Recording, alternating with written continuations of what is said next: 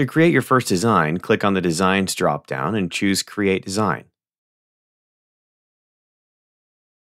With the new design open, provide a title, description, and any tags you think would be useful to have associated with the design.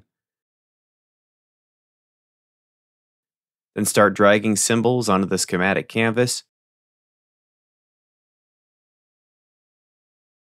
Wire the symbols together by simply dragging the symbols around the canvas until the ends touch, or by clicking on the end of a symbol and dragging a wire to another symbol.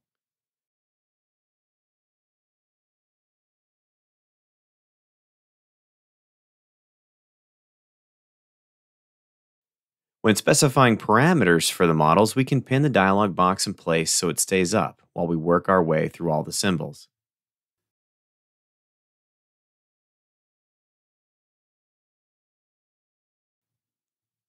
Simulations are easily run by selecting the type of simulation, specifying the end time, then hitting the Run button.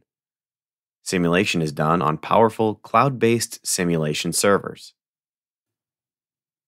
When simulation finishes, we can view the results using waveform probes.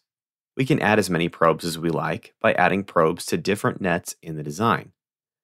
You can also drop a probe on a symbol, which prompts us to select a value from inside the model. This is a very convenient way to see the current inside of a resistor, for example.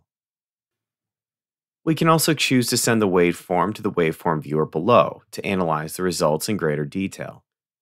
There we can drag them around, make it easy to compare time aligned waveforms, and using the right mouse button, we can choose to add a cursor on the waveform so that we can see the value of a chosen point on a curve.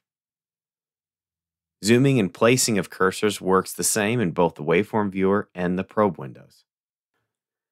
Besides creating our own designs and simulating, we can also browse designs that are shared with the community. Here we can search other publicly available designs created by others filter by interest area, or simply search for tags on designs. We can share designs that we make or that we find on PartQuest Explorer with others via a link, through social media, or embedding the design on a web page. Also, if we find a design that we like, we can push into the design and even save a version for ourselves to modify if we want.